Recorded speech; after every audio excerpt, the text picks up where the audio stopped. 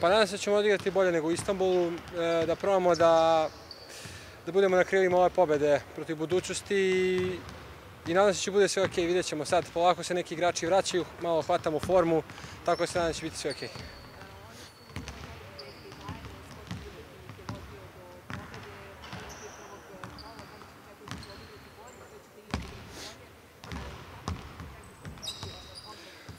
Pa da, sigurno da zaustavimo Skotija. Gledali smo, mislim, neki od nas su gledali utakmicu, koliko smo uhvatili tamo kad su bili u Istanbulu.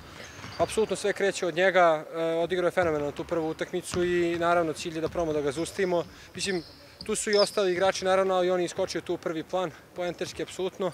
Tako da ćemo probamo kao i do sada da igramo što bolju odbranu, da imamo što više lakih poena i naravno da njega, to će apsolutno bude ključ.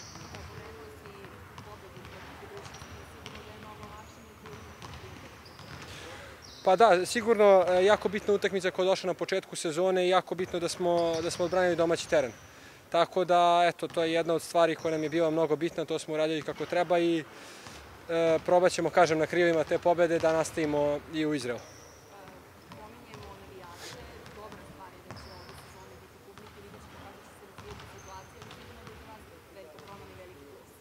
Pa da, apsolutno videli ste, evo i sad, iako nije bila, da kažem, skroz popunjena hala, opet dovoljno navijača da se jednostavno osjeti neka drugačija energija, nama je mnogo lakše na terenu da igramo i nadam se da, da će u nastavku sezone da dolaze u što većem broju i sa njima zajedno da, da idemo u nove pobede.